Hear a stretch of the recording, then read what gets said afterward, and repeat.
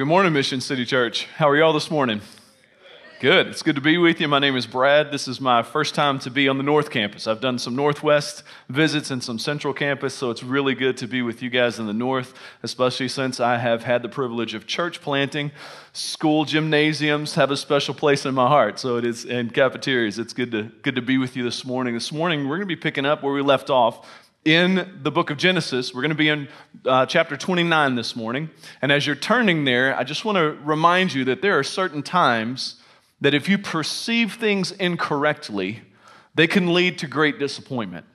Have you discovered this? If you perceive things incorrectly, they can lead to great disappointment. So, setting our expectations and understanding correctly has a lot to do with how we engage life. I'm the youngest of four boys. Dad's a high school football coach, and my mom could cook and still can cook in an amazing way. In fact, when I was in elementary school, my friends would ask two questions. They would say, Hey, Brad, can I spend the night at your house? And I said, Sure, I'll just check with my mama. And they, Hey, and would you mind asking her to make this? And so, like, do you even like me or do you just like my mom's cooking? And so, uh, there, she could just cook. It was amazing. And, and I can remember that fried chicken was one of the things that she could just nail. I mean, you could walk up to the house and you can smell the fried smell through the door. Do you understand what I'm saying? You touch the door and you open it, and just that wall of fried magic air just comes all over you. Your stomach is growling, your mouth is salivating, and we're boys, so we're playing all the time. We were hungry, we were ready to go, and I walk into the kitchen and I'm like, let's go. And it turns out to not be fried chicken. It's fried liver. And some of you might not see a problem with that, but there's a big problem with that for me.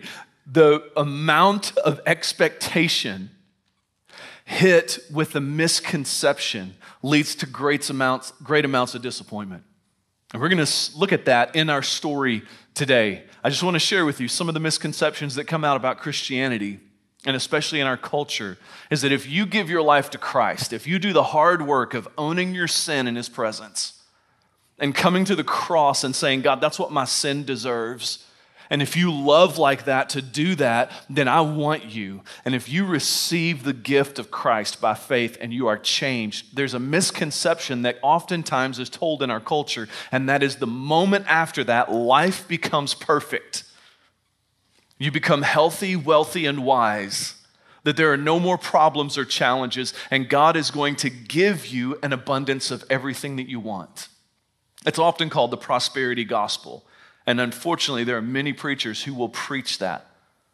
And I want to see some things in our story today that brings that crashing down, but in a most beautiful way to set something up better for us to look at. You ready to look into this? Okay, so we've been following through the book of Genesis, and where we've come so far, last week we looked at Jacob. And if you haven't been with us, let me catch you up on Jacob. He is Isaac's son, he's the second born. And what we've seen with, I, with Jacob so far is he has cheated his older brother out of his first birthright. He traded it for a bowl of soup, he tricked him.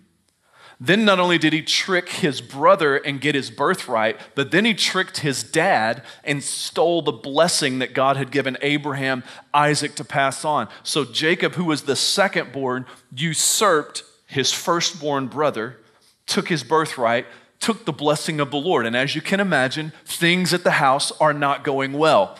And so his mom says, Hey, Jacob, it's probably time for you to go visit your uncle. So she sends him out and he is going to be leaving to try to save his life after tricking his brother. In fact, the name Jacob does mean usurper, one who grabs the heel. So he's been living a life of trickery. He's gotten all the things he wanted, and now he's got to run for his life. His mom not doesn't send him to his uncle's house, he's also sending him to his uncle for the purpose of getting a wife. I don't want you to marry a Canaanite woman I need you to marry a woman who has a heart after God. So I want you to go there and I want you to find it. And so, as the story goes, Jacob comes into the land of Haran. He runs into some shepherds by a well, finds out if his uncle uh, Laban is still good. He says, Yes, he's still good. And while they're talking, up comes Rachel, Listen, this is playing like a love story. This is a movie. Here comes Rachel, beautiful hair flowing. She's leading the, shep- uh, the sheep because she's a shepherdess, and they're coming to water in the well. And the next thing you see Jacob do is go, and he walks over to the well, and there's a big stone in front of the well. And as he sees Rachel coming, God gives him some supernatural power to flex in front of her, and he rolls the boulder out of the way and waters all the flocks. And there's this beautiful love story unfolding, and he sees that she is his, and they, they do the Middle Eastern friend kiss to start with, not the romance kiss. And he hugs and he cries, and he finds out that things are going well. He goes back to Laban's house with her and this is playing like a Hallmark film so far. And as they get back there, Jacob is madly in love with Rachel. She's beautiful. She's hardworking. She's everything you want your daughter to be, everything you want your son to marry. Rachel. And so turns out Laban says, You can't just stay here and work for me. What, what can I give you? He goes, Give me Rachel. He says, Okay.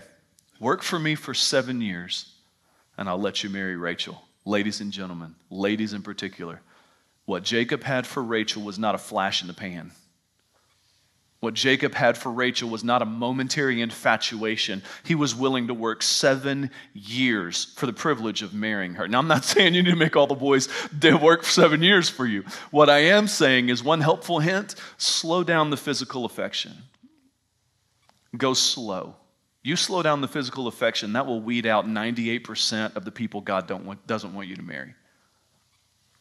So he loved her. He served seven years. And it says in the scripture that it just felt like a day, just passed like that because he was so madly in love with her. Isn't this a great love story? Such a great love story. It's amazing.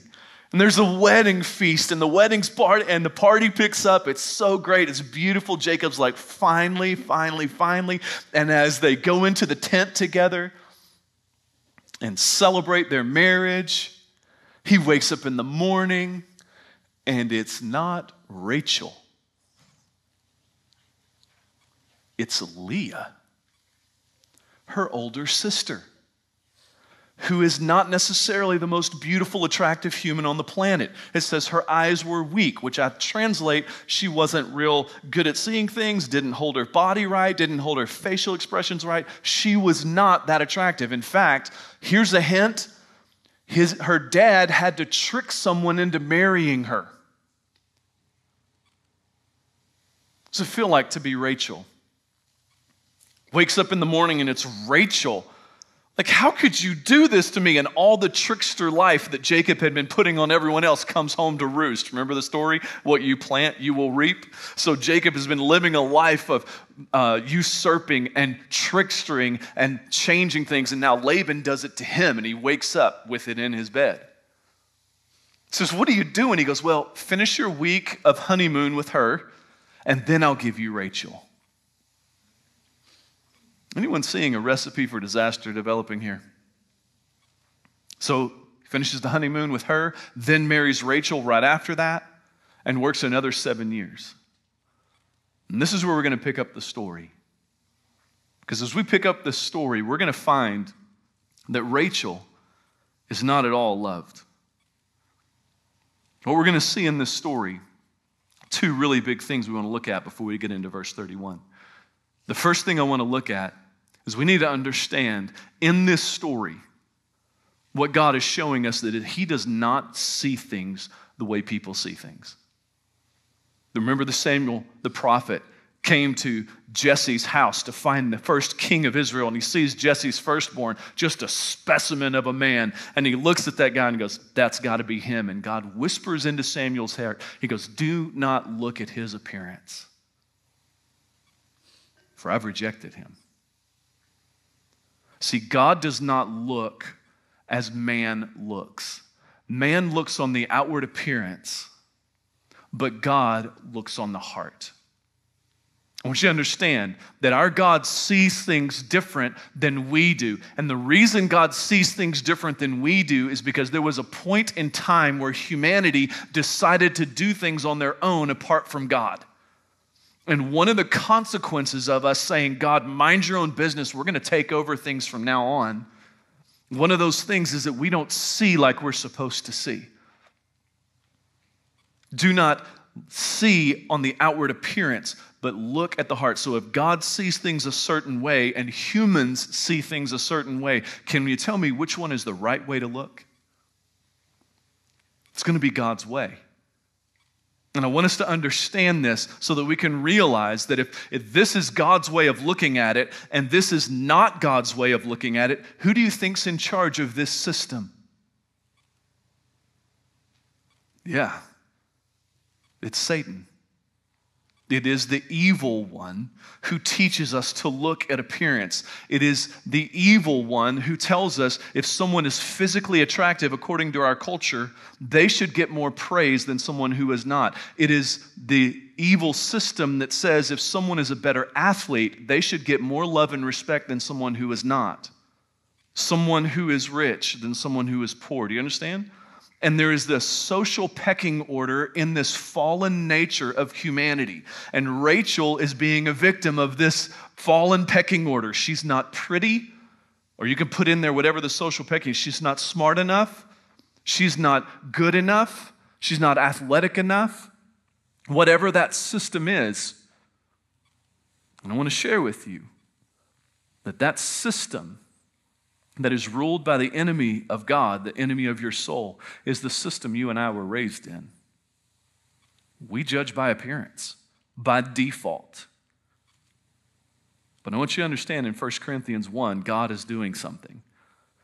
1 Corinthians 1, Paul tells us God has chosen the foolish to shame the wise. God has chosen the weak to shame the strong. What's God doing? God has chosen the base things, the things that are not. God, on purpose, is choosing the lowest strata of the social pecking order. Who was invited to Jesus' birthday party? Who did the angels show up to to say, hey, the Savior of the world just showed up. Would you please come and celebrate this with me? Who did he show up to? Do you know what a shepherd is? The thing your parents said you would be if you didn't do your homework. They were the bottom of the pecking order. 1 Corinthians 1 is telling us God has chosen the things that are not in order to nullify or bring to nothing the things that are. I want you to understand that what we're seeing in this story, where this heartache is coming from, is a fallen world system where men judge by appearance and that's why Jesus said in John 7 do not judge by appearance, but judge with righteous judgment. Which then means if we are judging by appearance, by default, that's not righteous. And that is how the enemy has brought so much heartache and brokenness in our world because we buy his system hook, line, and sinker. And we start gauging other people, not as an image bearer of the living God, purchased by the blood of my Savior, worthy of love and respect. We go, I don't know, are you pretty enough? Are you smart enough? Are you cool enough? Are you this enough? And we begin to stratify that. That is not God's heart. God is actually destroying that system to bring another one. And if God is destroying that system to bring another one, and we belong to Him, my friends, what should we be doing? Ladies, your value is not in your appearance. You're an absolute treasure because the God of heaven knit you together in your mother's womb, bought you with the precious blood of his son. Gentlemen, you are not better because you make more money or you're better at this event or because of the athleticism or anything else in the strata where we fall in and try to find our value. No, you matter because the God of heaven made you on purpose, for a purpose, for Himself. And until we believe this about ourselves, and then treat humanity the same way, then we're going to propagate this fallen world system. And it's broken my heart. I've done years of youth ministry, years of pastoring. It breaks my heart when I step into a church and I see the same social pecking order of high school with adults in the church. But I'll also share with you when I step into a church and this social pecking order is shot And it doesn't matter how much money you make or what car you drive, they are brothers and sisters and they love each other and there is a respect. What I've seen God do with that group of people is transform an entire city and a culture. I want you to see that because that's part of what causes this trouble. Uh, ladies, a free one for you. Beauty is pointless. Proverbs 31. Charm is lying manipulation, but a woman who fears the Lord, whew, whew, brother, slow it down. Okay? All right. So, what we have here is Leah suffering because she's not pretty enough. She's not cool enough. Now she has to be the second wife, even though she was the first wife, to the one that he loves. Jacob loves Rachel. For seven years, I will work to get Rachel. I adore. What is this thing? You are the tricking deception. You are my treasure. Second thing we're going to see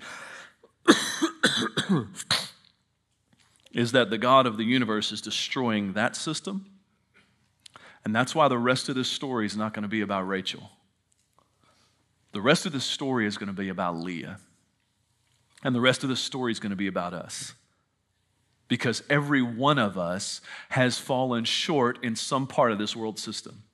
Every one of us has had people who are supposed to fulfill a role that God appointed to them in their life who have failed us.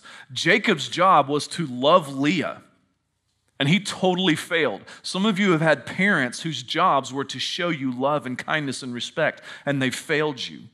Some of you know the pain and the heartache of having friends you thought were friends only to find that they betrayed you, or a spouse the rest of this story is for us who are victims of a fallen world system and victims of where people should have been loving us, and every one of us has been wounded at some level. And this story is for us. How do we handle when we don't measure up and when people let us down? And listen, I thought following Christ made my life better, but I've given my life to Christ and things are getting worse. How do I walk through this? I've just buried a child. How do I walk through this, God? And this is what we're going to see. So let's take a look at Leah's longing for love. If you're following along, let's jump in at verse 31 to our story. Excuse me. And here's what it says in verse 31 When the Lord saw that Leah was hated, he opened her womb. But Rachel was barren. Can you see the echo of God choosing the low? You see this happening?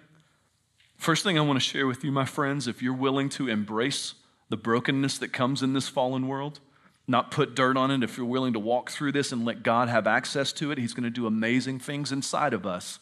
Bring healing and power to make us strong enough to love other people and destroy the social pecking order while bringing God's kingdom on earth as it is in heaven. And the first thing that you want to say here this morning, the first thing God wants to say is, I see you. God says, I see you. When God saw that Rachel was not loved, when God saw that she was hated, God moved in love. He opened her womb. She had a son, verse 32. And Leah conceived and bore a son, and she called his name Reuben, which means see a son. So she sees that God sees her. She understands that. She's enjoying the blessing of God by having a son, and she even names him God sees me. See a son. But here's what she says Because the Lord has looked upon my affliction, for now my husband will love me. Verse 33. And again, she conceived and bore a son and said, Because the Lord has heard that I was hated, he's given me this son also. I just want you to understand that our God is not a God that when you go through hard times is somehow vacant. The scripture actually says that God draws near to the brokenhearted. So when you're hurt and when you're wounded and when your legs get swept out from underneath you, which is going to happen, I love all of Jesus' promises except one. In this world, you will have trouble. I don't like that one. I like where he goes with it. But be of good cheer, I've overcome the world. You will have trouble. Your legs are going to get swept out. People are going to fail you.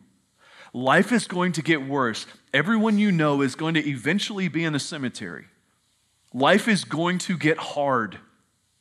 And you need to understand that God hears you, God sees you, and when you're walking through the stress and the trials of life, God is not distant, He draws near.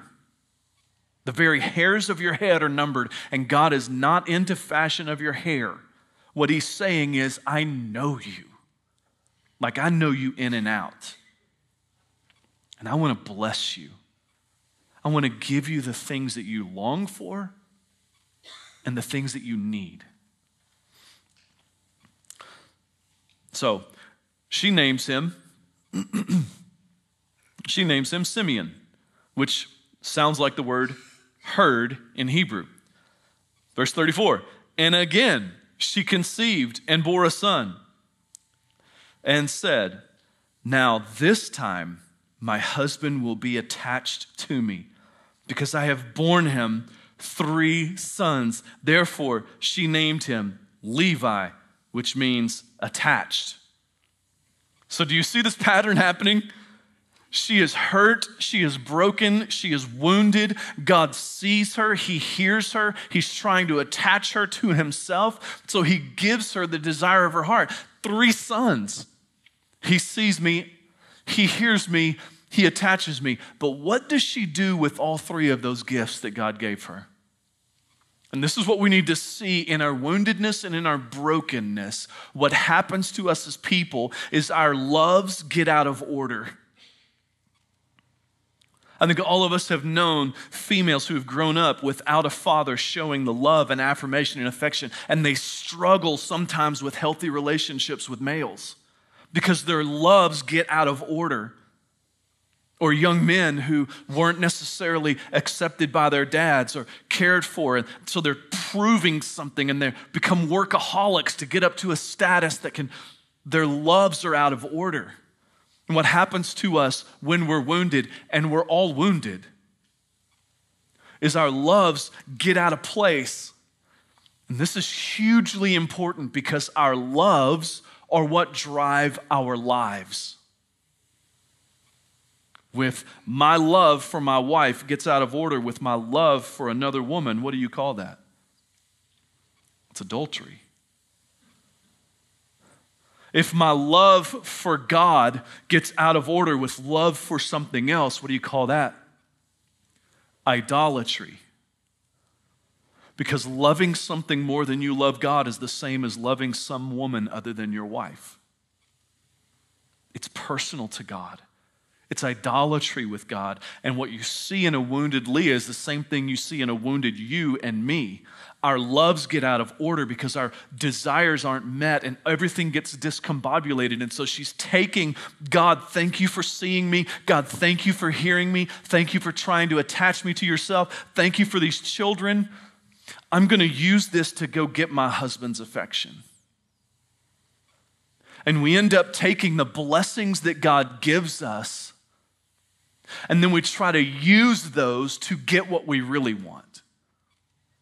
We try to take the things that God abundantly pours into our life because He loves us, and we try to go over here and get something.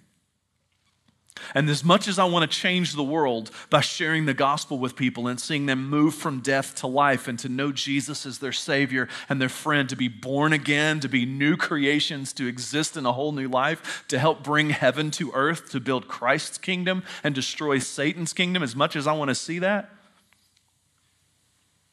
it is a real temptation to take the blessings that God gives us and to use them to satisfy wounded places inside of us.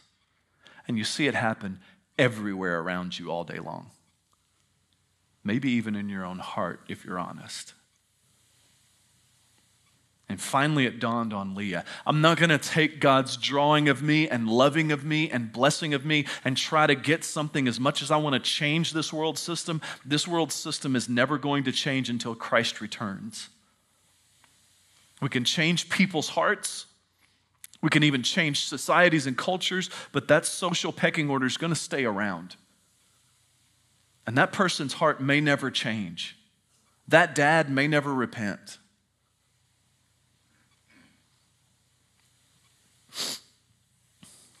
We all come from broken places. And we try to feel the pain of affliction in a variety of ways. And we're looking for what our souls desperately need on a horizontal plane. But if you haven't figured it out yet, nothing on a horizontal plane can fill the eternity that God put inside the hearts of men and women. And after three, it dawns on Leah what's going on. Look at me with verse, look at verse 35 with me. And she conceived again and bore a son and said, This time I will praise the Lord. Therefore, she named him Judah, which sounds like praise, and she ceased conceiving. After three times of going, Thank you, God, for drawing near. Thank you for blessing me. Now my husband might love me. Now my husband might hear me. Now my husband might see me. Now, finally, she goes,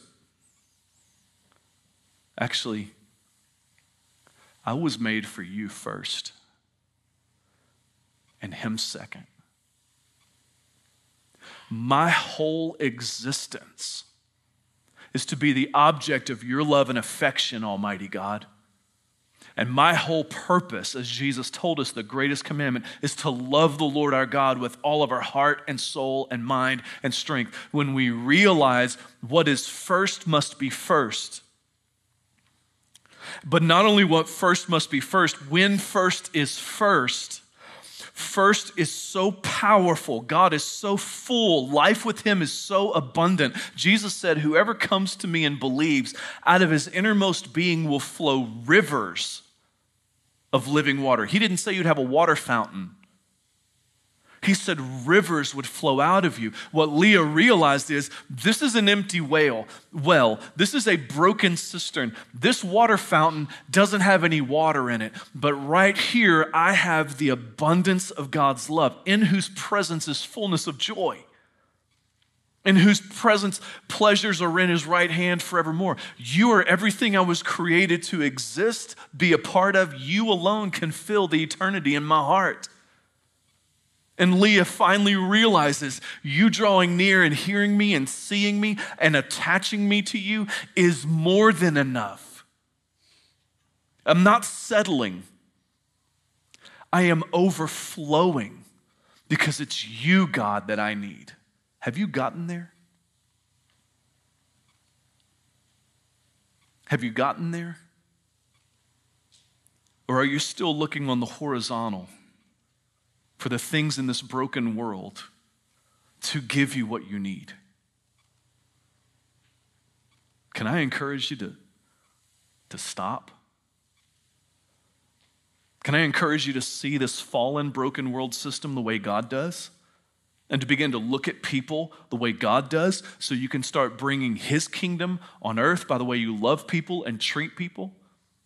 Tear down the social pecking order. And when you and I are broken and when we see other people who are broken, can I encourage you? Don't take the fact that God sees you and hears you and knows you and blesses you to try to exchange it for something cheap. Every blessing you pour out, I'll turn back to praise. Because God is everything. He's first, He's full, and He's abundant. End of the chapter. But not the end of the story. What's God going to do with Judah? You're going to see it in chapter 49. when he says this prophecy that the ruler's staff will not depart between Judah's feet until Shiloh comes, the one to whom it belongs, and to him will be the obedience of the nations. Guess through whom the Savior of the world is going to come? It's not Rachel, it's Leah. And it's not Reuben or Simeon or Levi, it's Judah. What will God do through the lives of men and women who snap out of a fallen world system, put first things first, and are satisfied with Him so much that even the broken emptiness of this world cannot drain you because you have rivers of living water, because the King of glory lives inside of you. And so, if you're here and you don't know the gospel, let me just share something with you. The gospel just means good news. Can I tell you what is going on here in this whole narrative God's giving us? God made you on purpose because He's crazy about you. You are created with more honor and more dignity and more value than any stratified social pecking order could ever give you. This is pathetic compared to the real value the God of the universe has for you.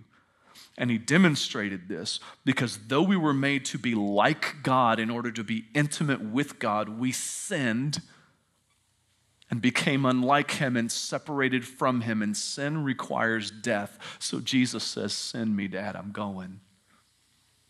And Jesus came, who is God from eternity past, to be born inside of a woman into a barn, to have little shepherds come to his birthday party to go from that little barn manger to live a perfect life where all humanity should have said, This is what we're created to do and be. And instead of humanity loving and adoring him, God's plan was for Jesus to be the sacrifice for our sin. It was in a garden on a Thursday night when Jesus is praying, Father, if there is another way, can we do this? And the father says to him, My son, I love you. There's no other way. Then let's do what you want. But, Father, if there is another way, can we do this? Because I don't want to drink what you're going to have me drink.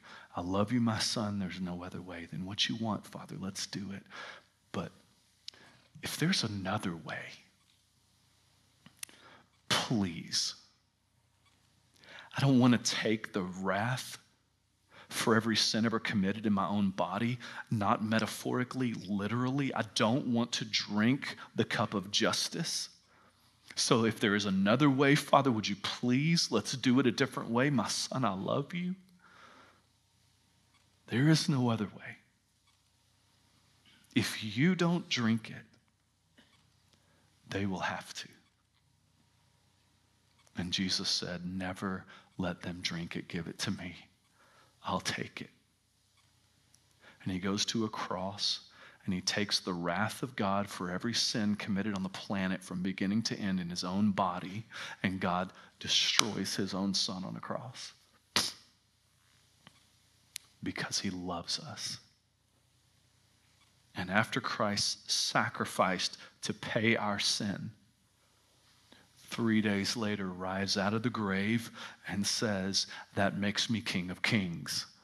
Now I can not only forgive every single person who comes to me, but I can cause you to be a new creation and start life over again. This is the gospel that if any person realizes their sin against God and believes Christ, they can receive him by faith and be forgiven of everything and receive the gift of Christ inside rivers of living water. Father in heaven, we thank you for your faithfulness. We thank you for your goodness, God. Thank you for the story of Rachel and Leah. Thank you for showing us that you and your kingdom are different than what we were raised in. You're so different, God. You are good. You are righteous. You are holy. And all of us have been broken by this fallen world and even our own sinful choices. We have let our loves get out of line. This morning, if you're here and you've never received Jesus by faith, I want to encourage you if you believe the story, if you know it's true in your heart, then understand that God loves you and is calling you to Himself. He sees you this morning. He sees you. He hears you. And He's trying to attach you to Himself. You are mine. Come and be forgiven. Come and confess your sin. Stop trying to satisfy yourself on the horizontal plane with things that can never satisfy, that only distort your loves, which then distort your life, which continues the brokenness. Come to the one who is first and receive the forgiveness that you need. If that's you this morning, you receive Jesus simply by believing him you believe him and you say, Jesus, I believe your love for me. I believe your sacrifice for me. Would you forgive my sin? Would you draw me to you and would you come live inside me?